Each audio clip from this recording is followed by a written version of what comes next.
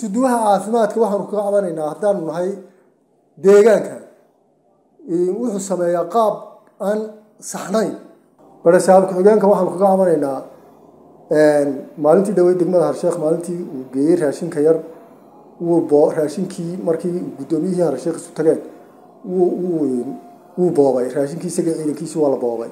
Biyahana waxaa noo dhaamin jiray hay'ad nala shaqayso hadday dee malak waasaabay sheeganayaan hay'ad nala shaqayn jirtay oo la yidhaha world vision ayaa biyo badanna siisay. Sayid xasan oo ka mid ah madaxda degmada gadiitaley ayaa cabasho ka muujiyey qaar ka mid ah maamulka gobolka daadmadheedh oo ay degmadaasi hoos tagto waxaana uu mas'uuliyiinta heer qaran ugu baaqay inay gobolkaasi u soo magacaabaan. Maamul shaqooyinka loo igmaday garanaya sidoo kalena aan dadka kala xigsanaynin mas'uuliyiinta uu eedda u jeediyey ayaa waxaa ka mid ah badhasaab ku-xigeenka gobolka daadmadheer iyo sidoo kale isuduwaha wasaaradda caafimaadka ee gobolkaasi kuwaasoo ku dhaleeceeyey inay qaab aan habboonayn ay uga dhex shaqeeyaan gobolkaasi islamarkaasina ay deegaanada qaar cadaadis saaraan isagoo arrimahaasi ka hadlayana waxauu yidhi.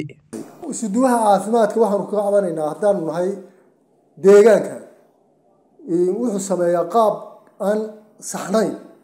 Waayo markii hore m c h kerna noo dhisay wuxuu naga helti bosbu ka dhigay markii dambena aadu waxay soo socotaba cadaadin buu saaray. Waxay soo socotaba dadkii meesha wax ka qaadan jirayna qayb buu kala bedelo qaar buu iyagoon dembi gelin meeshiiba ka saaray wuu kaba saarayba waanu u tagno xataa od inaan ugu tagno waxaan warniyow dee dadkani waa dadkaa yarar ku shaqaysanaya meesha inahooda yarar ku shaqaysanaya dadka si wanaagsan oo qof shaqadiisii garanayo aan wax dembiga gelin shaqadiisiina aan ka dhicin. Hagaaji arrintaasina waxba wuu naga diiday markaa waxaan leenahay xisbiga kulmiye. Waa dad shaqada garanaya gobolka geysta. Gobolku waa gobolka ugu dadka badan leh. Gobolka daadmadheedh waa gobolka ugu dadka badan. Waana gobolka ugu dhaqaalaha badan. Waana gobolka ugu muxaafidsan gobollada markaa waxaan leenahay ha waana gobolka ugu nabadgelyada badan. Markaa waxaan leenahay ha geystaan dad u shaqeeya dadka isku sina ugu wada shaqeeya oo aan dadka kala jeclaysan oo sinaanta iyo cadaaladda ku shaqeeya hala geeyaan le barasaab ku-xigeenka waxaanu kaga cabanaynaa maalintii dhaweyd degmada harsheekh maalintii uu geeyey raashinka yar wuu raashinkii markii guddoomiyihii harsheekh isu tageen wuu boobay. Raashinkii isaga ciidankiisi waa la boobay. Ha guddoomiyahana wuu dhirbaaxay guddoomiyihii degmada. Markaa waxaan dee khayral caadi ahayn arrintaasina dee arrin nin xasaanad loo xil haya. Dee intaasoo kale lagu sameeya loona gacan dhaafo.